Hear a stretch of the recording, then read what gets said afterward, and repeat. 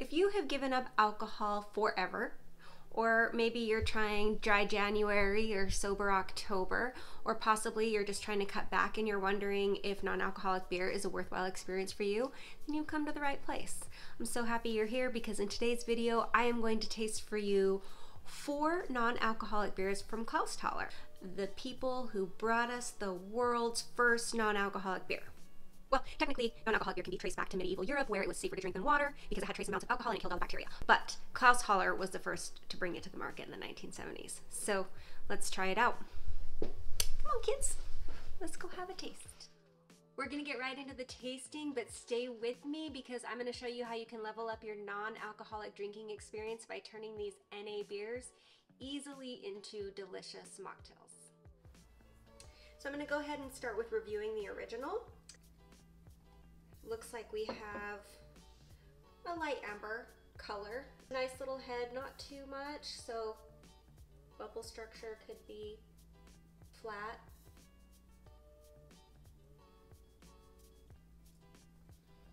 It is a little not as crisp as I would like it to be. It's got like a almost like a syrupy mouth feel, which maybe on its own doesn't quite lend itself to that crisp cold beer refreshing flavor that you'd like but I think it could lend itself well to a mocktail. Um, I'm getting some hay. It's a little bit grassy, but again, I, I get like a lot of sweetness. I'd say it's like a light carbonation on that one. And then the next one we'll go ahead and try is the dry hopped. It looks like we're getting a little bit more of a head.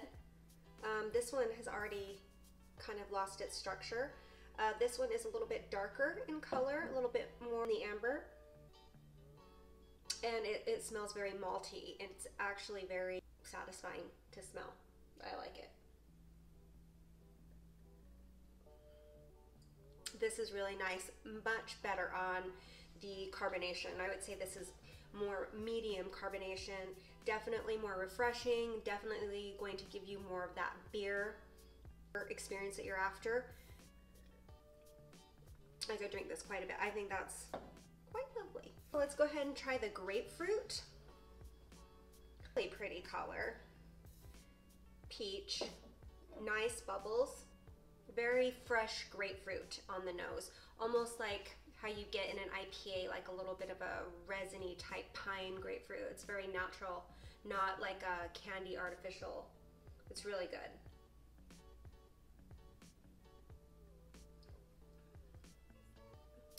So not as much of a malty flavor as say these two, not so much that beer, but definitely not sweet like a soda would fulfill that sort of non-alcoholic adult flavor. It's quite tasty. I'm excited to make a mocktail from it. It's very refreshing. Mm. I like it. And then on this side, we have the holiday. All of these can be found at Total Wine or Whole Foods. Obviously, you're not gonna be able to find this year round but it was available to me at this time, so I figured we should taste it and review it. Again, a decent head. This is going to be, well, it's comparable in amber color to the dry hopped. Oh, it's so good on the nose. It's like a, a lot of baking spices and um, sweet apple. That's really good. Made my mouth water. Again, not as malty as these two are. I definitely think this one is going to be your uh, beer quenching, satisfying go-to, but this is lovely. You could drink a lot of these as well. And you can drink a lot because they're non-alcoholic. Hmm. So good. So overall, I think these are pretty tasty, pretty decent. I'm gonna say the original is my least favorite just because of the lack of bubble structure, just not the carbonation I would like to have in a non-alcoholic beer. The dry hopped, uh, definitely more flavor. I got a lot of tea, a lot of bread, but still that crispness that you expect out of a beer.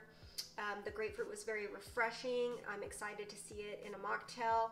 And this one is just all around delicious. I think it's enjoyable on its own, and I'm also excited to see what we can do with it in a mocktail.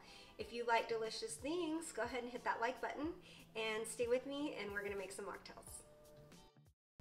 For our first bevy, the Angel Face Radler, you will need Clausthaler Original, fresh lemon juice, non-alcoholic triple sec, apricot flavoring, and thyme for garnish. Let's start by adding one ounce fresh lemon juice to an iced highball glass. Then we will add a boop or a quarter ounce of non-alcoholic triple sec, followed by one dash apricot flavor. Now let's stir in our Clausthaler Original. We're going to garnish this with a lemon swath. Be sure to express this over your mocktail to get those nice aromatics. We're also going to add a sprig of fresh thyme. Be sure to spank your herbs to release all those delicious smelling oils. And there you have it, the Angel Face Radler. For our next drink, the Straight Shady, you will need Clausthaler dry hopped, fresh lime juice, all the bitter aromatic bitters, jalapeno, and salt for the rim. We'll start off by making a half rim of salt on a snifter because we're fancy. Then we're going to add a couple of thinly sliced jalapenos. You can adjust this for your taste however spicy you might like your beverage. Give those a little bit of a muddle Fill your glass with ice. Then we're going to add two dashes, all the bitter aromatic bitters.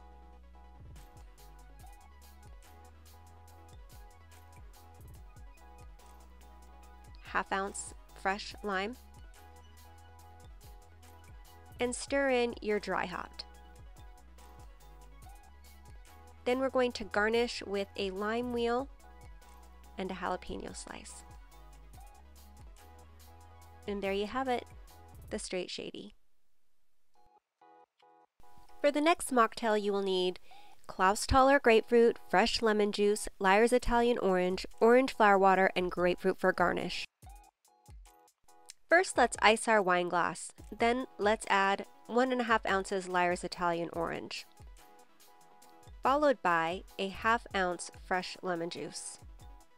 Then we're going to add 1 dash orange flower water. I love using orange flower water, it just gives mocktails that special something. Then top it off with our Clausthaler grapefruit. Then we're going to add a big grapefruit wheel for garnish. And voila, you have the false jasmine. For the apples in stereo, you will need the Santa Clausthaler, fresh lemon juice, all the bitter New Orleans bitters, dried apple rings, and lemon for garnish.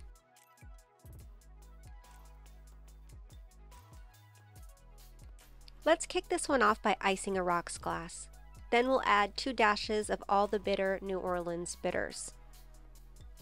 We'll follow that up with a half ounce of fresh lemon juice and stir in our Santa Clausthaler. We're going to garnish this with a scorched dried apple ring. This will give us a delightful caramelized aromatic experience. We're also going to add a beautiful lemon twist for a bright freshness on the nose. Make sure to perform your twists over your bevies so that all of those fragrant oils make it in. And there you go, apples in stereo. We did it. We tasted the beers. We made the mocktails. Subscribe if you want to see more non-alcoholic products tasted and reviewed and more mocktails made. Until then, we'll see you in the next video. Cheers. Hmm? good.